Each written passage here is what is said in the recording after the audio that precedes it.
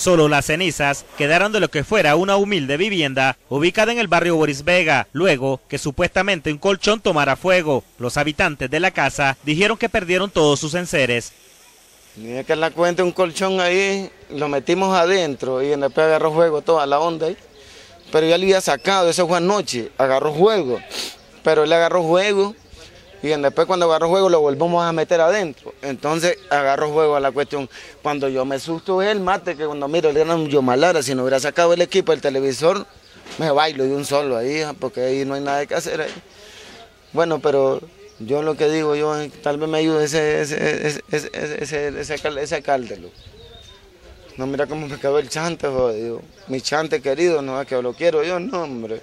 Fue anoche que un chalo vino a dormir ahí, pero me vino a hablar desde el otro lado que estaba echando humo, entonces me vine y lo levanté. Yo saqué el colchón para afuera, pero vinieron y lo volvieron a meter para adentro. Yo no me fijo cuando me voy a trabajar. ¿Y se quemó todo? Sí. Me traen en el mercado. ¿Y la casa estaba en ese momento estaba sola? No había nadie que lo vamos para arriba.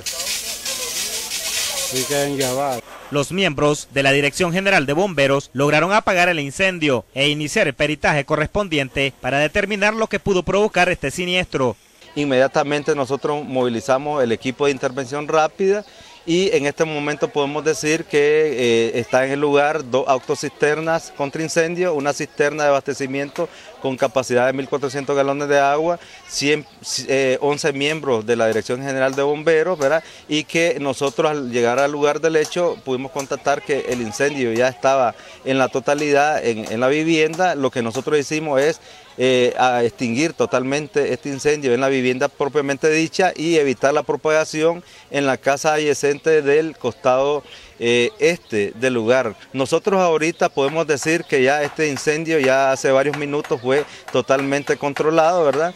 Eh, y por otro lado, nosotros ahorita vamos a trabajar en conjunto con la Policía Nacional, en el proceso de la investigación que tiene que ver con ver la causa de este hecho, el origen del mismo y valorar también las pérdidas económicas. Hay que destacar también el apoyo de la comunidad que inmediatamente intervino eh, intervino perdón, en cuanto a, evacuar o autoevacuar algunos bienes. Lo importante aquí es que no hay lesionados, eso es lo más importante porque el material se repone de cualquier manera, ¿verdad? Y importantísimo destacar también lo de la Policía Nacional en cuanto a la seguridad del área que también está trabajando aquí nuestros hermanos de la Policía Nacional.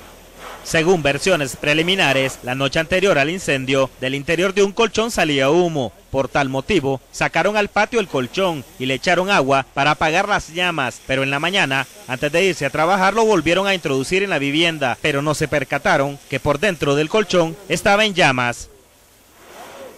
Con imágenes de Uriel López, para Todo Noticias, les informó Guascarirías.